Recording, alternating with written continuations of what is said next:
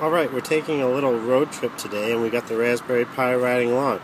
And excitingly, we've got the camera and the GPS working. So the camera is mounted behind us, and the GPS is coming up.